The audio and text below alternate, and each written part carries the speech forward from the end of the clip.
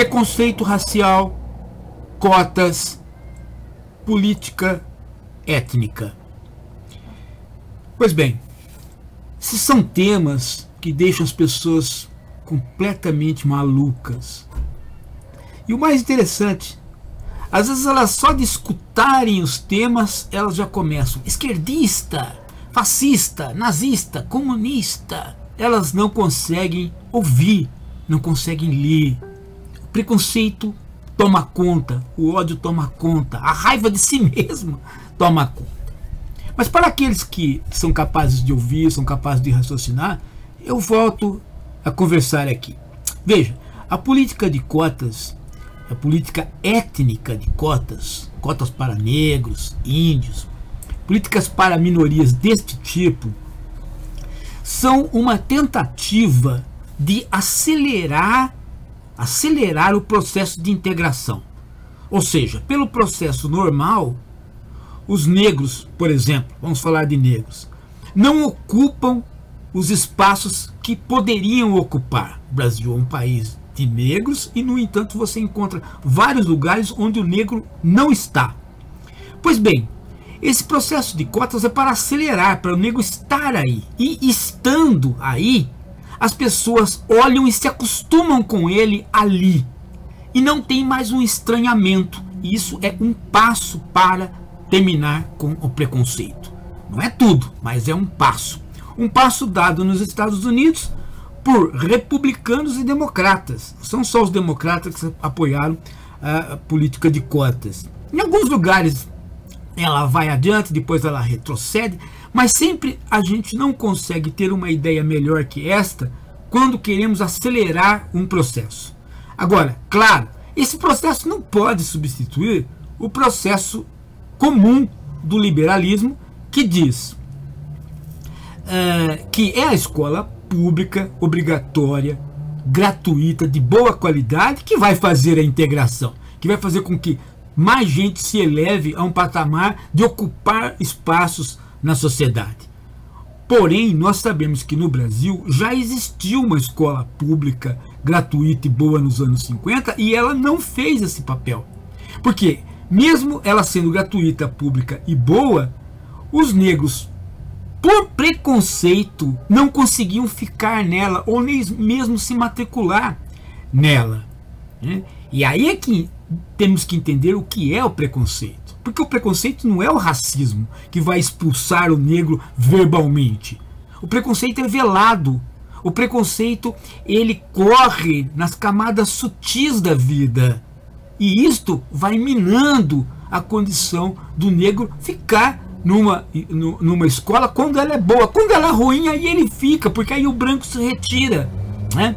Então a questão não é econômica, a questão é de preconceito étnico, social, que está lá atrás, arraigada por conta da nossa escravidão e do, por conta do tipo de fim da escravidão que nós tivemos.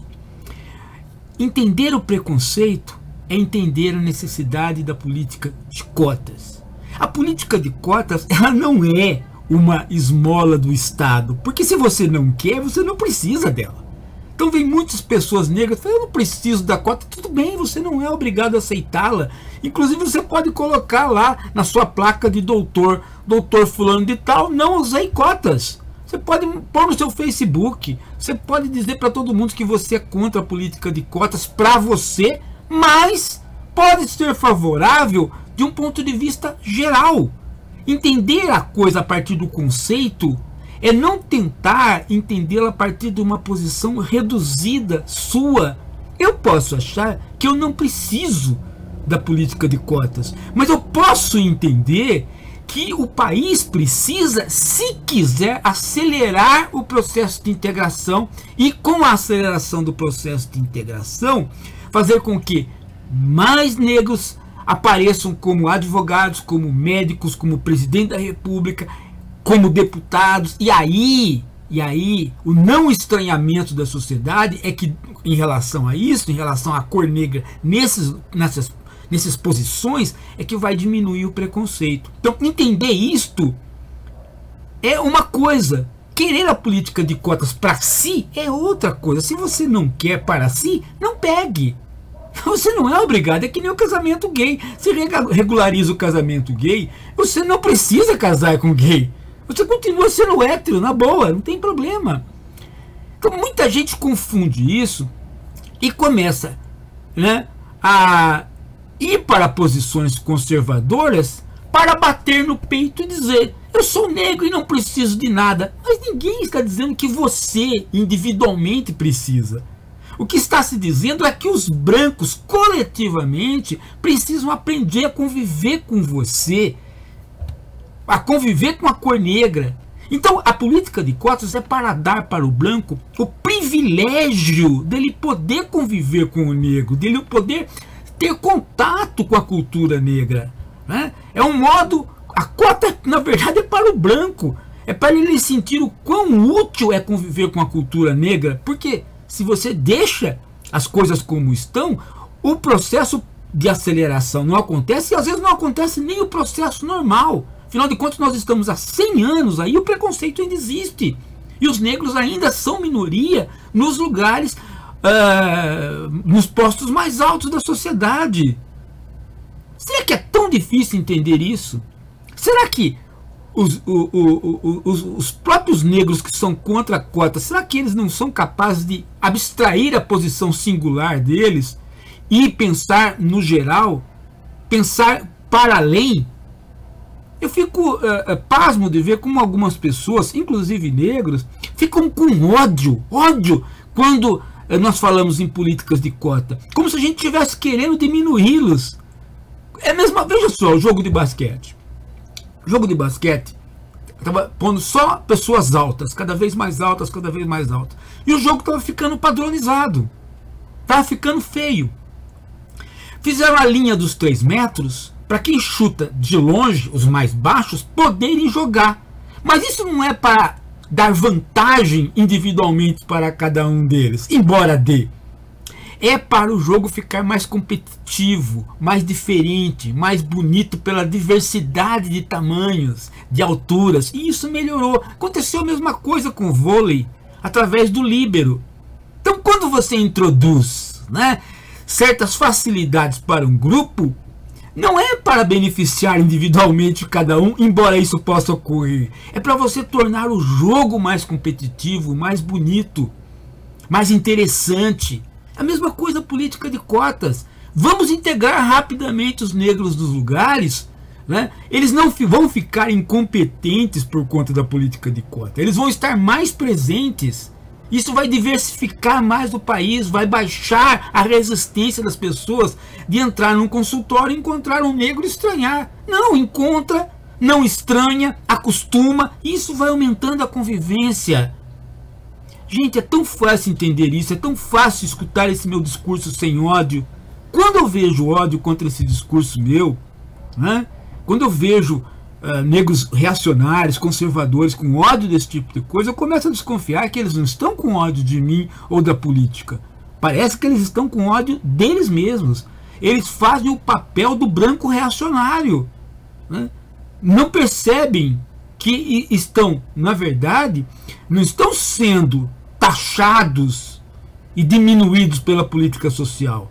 Estão caindo né, na rotulação dos brancos conservadores que querem, que querem ainda a não integração. Isto que eu estou falando, gente, está para além de direita e esquerda, porque é uma política liberal. É uma política liberal no sentido de que vai além de posições da esquerda ou da direita extremada. Vai no sentido de que um país precisa dar livre acesso para todos em todos os lugares mas de um modo acelerado. Esperar mais 300 anos para isso acontecer, mais 400 anos para isso acontecer? Não, porque se podemos, com a política de cota étnica, acelerar. Agora, política de cota social, não. Por quê? Porque a política de cota social, ela desresponsabiliza o Estado de dar escola pública gratuita e boa para todos. Porque aí não é uma questão de você fazer uma aceleração Aí é a questão de você se responsabilizar né, porque os pobres são num número que você não pode agora simplesmente dizer o seguinte: vamos aplicar a política de cotas de minorias para todos. Não, todos é outra coisa. Todos devem receber a educação pública gratuita. Esta vem mais lenta mesmo. Melhorar a escola, pagar os professores, melhorar a condição da escola para todos, isso vem mais lento. Não tem como acelerar isso no ritmo que a gente pode acelerar a integração do negro com o branco. Então, se podemos fazer mais acelerada a integração do negro com o branco, vamos fazer. Isso não impede a outra política mais vagarosa de ir melhorando a escola, de ir pagando melhores os professores. São duas políticas paralelas. E elas, a segunda, a de cota étnica, não tem a ver com questão educacional. Ela é uma política de integração. Ela não é uma política para redimir o negro ou é, fazer uma indenização pela escravidão ou resolver problema de educação do negro. Não, não. Ela é uma política de integração, de diminuição do preconceito. Gente, pensa nisso. Mas pensa sem ódio. Sem essa coisa de ficar é comunista, é fascista, é nazista, né? Não, não, não, não, não. Perceba o que nós estamos conversando. Reflita sobre o que a gente está conversando. Não custa, né? Não custa tirar um pouco o preconceito sobre o que nós estamos conversando e pensar e refletir, levando em consideração o que estamos falando. Mas não, o partido de uma posição a priori fala, não quero, não gosto, esse cara aí é de esquerda ou esse cara é de direita. Não, assim nós não vamos a lugar nenhum, assim não há possibilidade de conversa. Os meus argumentos, eles são argumentos que nós já utilizamos em outros lugares e eles deram certo em outros lugares. Né? Não pense que os Estados Unidos de 40 anos atrás era melhor que agora, não. A política de cotas ajudou muito, ajudou muito. Esses conflitos raciais americanos de agora não são né, nem 20% do, do, do passado. E agora há muito mais voz para o negro. Né? E, e isso se deve sim, em, não ao todo, mas em boa parte, à política de cotas americana. E que não foi obra só da esquerda americana, mas também dos republicanos. É isto, gente. Por favor. Né? Menos ódio, menos raiva e mais atenção.